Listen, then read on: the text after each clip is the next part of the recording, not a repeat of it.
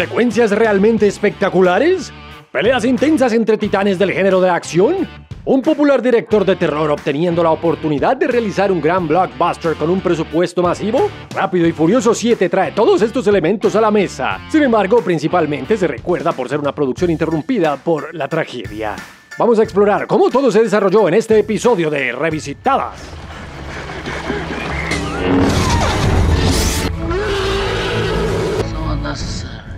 Universal Pictures no contaba con muchas franquicias principales de taquilla en ese momento. En 2012 Jurassic Park había estado inactivo durante una década y las películas de Bourne Identity habían perdido a Jason Bourne. Así que realmente solo contaba con Rápido y Furioso. Tenía sentido que mientras lanzaban la sexta película al mundo, ya estuvieran planeando la séptima. La sexta entrega se estrenó en mayo de 2013 y tenían la intención de llevar la séptima a los cines en julio de 2014. Esto era un giro tan rápido que Justin Lin, quien acababa de dirigir cuatro películas de Rápido y Furioso consecutivas, tuvo que retirarse.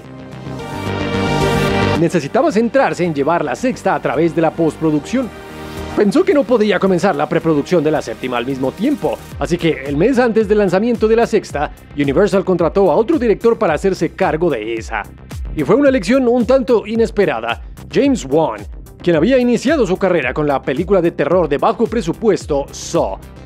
Siguió con más películas de terror como Dead Silence, Insidious, El Conjuro, Insidious Chapter 2, y también había dirigido un thriller de acción de presupuesto medio llamado Death Sentence, aunque pocos cinéfilos lo habían visto. Rápido y Furioso 7 era una gran oportunidad para él, la primera oportunidad de dirigir un blockbuster con un presupuesto enorme y se sumergió de lleno en ello.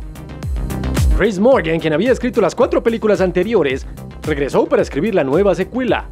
La historia básica ya estaba en su lugar cuando Wan se unió. De hecho, ya se había establecido con una escena a mitad de los créditos en la sexta parte. Allí conocimos al personaje de Jason Statham, Deckard Shaw, el hermano del villano de Furioso 6, Owen Shaw, quien resultó gravemente herido en el clímax de esa película. Ahora Deckard está buscando vengar a su hermano y la escena a mitad de los créditos modificó la escena de muerte de Han en Tokyo Drift, revelando que lo que parecía un accidente en la 3 fue en realidad Deckard eliminando a Han en su misión de venganza. Ahora va atrás el personaje de Vin Diesel, Dominic Toretto y el resto del equipo de héroes que hemos estado siguiendo a lo largo de esta franquicia. El equipo incluye a Paul Walker como el hombre de la ley convertido en proscrito convertido en hombre de familia Brian O'Connor. Jordana Brewster como la esposa de Brian y la hermana de Dom, Mia. Bueno, no es Mia, pero ya hice ese chiste antes. Michelle Rodríguez como la esposa de Dom, Letty, quien aún sufre de amnesia debido a un accidente casi fatal en la cuarta película. Tyrese Gibson como el hablador amigo de Brian, Roman. Chris Ludacris Bridges como el experto en tecnología Tech. Dwayne Johnson como el agente de seguridad diplomática Luke Hobbs y Elsa Pataki como la asociada de Hobbs, Elena, quien también fue brevemente interés amoroso de Dom cuando pensaba que Letty estaba muerta. Todos, junto con Statham, ya estaban confirmados para la secuela antes de que Wan se involucrara. Cuando Wan fue contratado por primera vez, dijo que la séptima película contaría una historia clásica de venganza. Soy un gran fanático de ese género, y así es como me acerco a ello. Lo estoy viendo como un intenso thriller de venganza de los años 70, pero que aún encaja en la serie de Rápido y Furioso. Y parecía posible que la séptima película podría ser una película de venganza directa, Después de todo, la serie estaba evolucionando con cada nueva secuela. Mientras que las primeras películas trataban sobre corredores callejeros que estaban furiosos y eran rápidos, y también de traficantes, Fast Five fue una película de robos. Luego, Furioso 6 tuvo a nuestros héroes embarcándose en una aventura de juegos de espías para el gobierno, así que tendría sentido que la séptima película cambiara de estilo nuevamente. Junto con esa filmografía, la cita de One podría llevar a esperar un thriller oscuro e intenso sobre un Jason Statham implacable y violento, persiguiendo a nuestros héroes por las calles de Los Ángeles. Pero la película nunca iba a ser tan oscura ni tan realista. Tan pronto como One se unió, Universal le informó sobre una secuencia de acción que se esperaba que llevara a la pantalla. La película iba a contener una escena en la que autos equipados con paracaídas guiados por GPS son lanzados desde un avión. Ahora, en cuanto a las escenas extravagantes de Rápido y Furioso, esta no es la más loca. El ejército realiza lanzamientos de vehículos y utiliza GPS para guiar la carga lanzada por aire a puntos específicos. Para la filmación de esa secuencia realmente se lanzaron autos desde un avión con paracaídas guiados por GPS. Así que no es simplemente el tipo de escena que esperarías de un intenso thriller de venganza de los 70s. Pero bueno, entonces la historia comienza mostrando lo peligroso que es Deckard. Vemos que irrumpió en un hospital y diezmó al equipo de seguridad para visitar a su hermano comatoso. Casi elimina a Elena en una explosión que pone a Hobbs en un hospital con el brazo roto. Y sí, elimina a Han. Don va a Tokio a recuperar el cuerpo de él, y mientras está allí, tiene una conversación con Sean Boswell, el personaje principal de Tokyo Drift, las cuarta, quinta y sexta películas se ubicaron antes de los eventos de Tokyo Drift, simplemente porque esa era la única manera de incluir a Han, ya que lo habían eliminado, pero ahora la franquicia finalmente ha alcanzado a la tercera película y Lucas Black hace una aparición como Sean. Y aunque no ha pasado tiempo alguno para su personaje, han pasado nueve años desde la última vez que interpretó a Sean. Bueno, Dom lleva los restos de Han de vuelta a Los Ángeles para el funeral y ve que Deckard acecha en el cementerio. Tienen un enfrentamiento. A los 30 minutos de la película la historia da un giro. Su confrontación es interrumpida por la llegada de agentes gubernamentales liderados por un personaje llamado el Señor Nadie, interpretado por Kurt Russell. Necesita la ayuda de Dom y del equipo en una nueva aventura global. Una compañía militar privada, liderada por el señor Honsu como su personaje llamado Jekonde, ha secuestrado a una pirata informática, Ramsey, interpretada por Natalie Emanuel, pero lamentablemente no hay relación con el programa en el que estás pensando. Están tratando de conseguir un sistema de rastreo de alta tecnología llamado God's Eye. El señor Nadie quiere que Dom y el equipo rescaten a Ramsey y obtengan a God's Eye para ellos. Promete que si lo hacen, les permitirá usar a God's Eye para rastrear a Deckard, lo cual no es inmediatamente necesario porque Deckard aparece en todas partes a donde van de todos modos. Pero bueno, esa es la historia y lleva a nuestros héroes desde Los Ángeles hasta Azerbaiyán, Abu Dhabi y de vuelta a Los Ángeles. En el camino obtenemos enormes secuencias de acción basadas en vehículos. Vemos a Paul Walker pelear con un mercenario llamado Kiet, interpretado por Tony Jaa. Vemos a Michelle Rodríguez luchar contra la guarda de seguridad Cara, interpretada por Ronda Rousey. Y vemos a Jason Statham pelear con Dwayne Johnson y Vin Diesel. Según el Wall Street Journal, algunas de las peleas causaron preocupación para los actores involucrados. Se ha afirmado que Johnson cuenta con un equipo que asegura que sus personajes no sean vencidos en peleas, pero deben haber mirado hacia otro lado porque Hobbs casi muere tanto en Fast Five como en esta. El artículo de Wall Street también dice que Statham afirmó un documento que limitaba lo maltratado que podría ser su personaje, mientras que Diesel sugirió implementar un sistema numérico que otorgaría puntos basados en golpes, lanzamientos, patadas y cabezazos, para asegurarse de que saldría de las escenas de pelea con la mayor cantidad de puntos. Los demás productores se opusieron a esa idea, así que simplemente tuvo a su hermana Samantha en el set contando los golpes. La filmación de Rápido y Furioso 7 comenzó a principios de septiembre. Hacia finales de noviembre, la producción se detuvo por las vacaciones de fin de año. Para ese momento, Paul Walker había filmado aproximadamente el 50% de sus escenas, pero nunca pudo completar su trabajo en la película.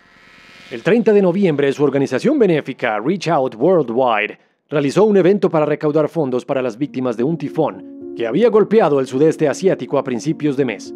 Él y su asesor financiero Roger Roda salieron del evento en el Porsche de Roger.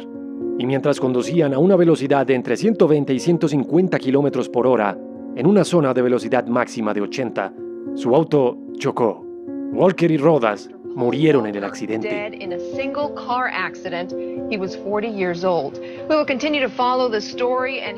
Universal One y los productores tuvieron que descubrir cómo terminar la película sin una de las estrellas, Bond le dijo a Hollywood Reporter, cuando ocurrió la muerte de Paul Walker pensamos, ¿cerramos la película para siempre?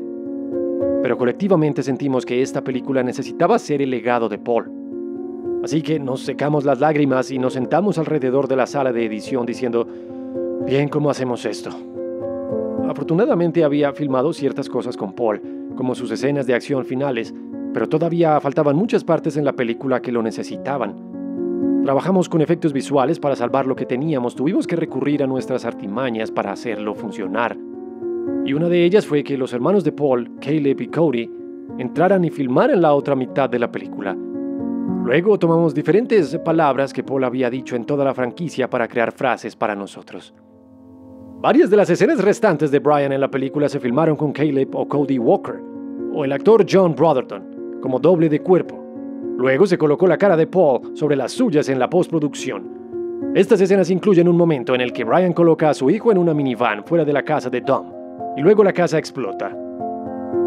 Una escena dramática con Mia que se basó en una escena eliminada de Fast Five, el final de una secuencia en la que Dom y Brian conducen en un Lycan Hypersport a través de tres de las torres Etihad. Un momento en el que Brian y sus compañeros miran hacia Los Ángeles y por supuesto, los momentos finales en los que nos despedimos tanto de Paul como de Brian. Juan ha mencionado que la parte más difícil de hacer la película fue editar esa secuencia final, porque él y los editores lloraban mucho mientras la montaban. Las escenas de Jordana Brewster se filmaron después de que la producción se reanudara en abril de 2014, por lo que nunca tuvo la oportunidad de interactuar con Paul Walker durante la realización del film, a pesar de que su personaje, Mia, estaba casado con el suyo. Sus escenas se convirtieron en una forma para Juan y Morgan de sacar a Brian de la franquicia. El hecho de que intentara equilibrar ser esposo y padre con ser un héroe de acción ya formaba parte de la película, pero ahora Mia estaba embarazada de su segundo hijo y está claro que Brian debería dejar la acción atrás por su familia. Esta iba a ser la película más desafiante de James Wan hasta ahora sin importar nada. Fue una producción enorme que requería más acción, acrobacias y efectos visuales de los que había trabajado antes. Se filmó en múltiples ubicaciones alrededor del mundo. Se destruyeron 340 vehículos durante el rodaje. Y aunque Wan suele preferir improvisar escenas en el set, para esta tuvo que hacer mucho storyboard y previsualización fue lo opuesto a la forma en la que prefiere abordar la realización de otros films. Y luego tuvo que enfrentarse a la pérdida de Paul Walker, pero demostró ser capaz de enfrentar esos desafíos y entregó una película de acción sólida y entretenida. Ahora, es difícil no pensar en lo que podría haber sido si hubiera optado por hacerla un thriller oscuro de venganza. Pero también es difícil quejarse cuando la película ofrece secuencias de acción más grandes, como el equipo asaltando un convoy militar privado para rescatar a Ramsey, una persecución de autos a alta velocidad a través de tres rascacielos, un dron artillado persiguiendo a nuestros héroes por Los Ángeles, múltiples escenas de lucha y Dwayne Johnson disparando una ametralladora contra un helicóptero. Ahora, la escena más popular en la película Dead Sentence The One involucraba a Kevin Bacon saliendo apresuradamente de un automóvil que cae desde un estacionamiento.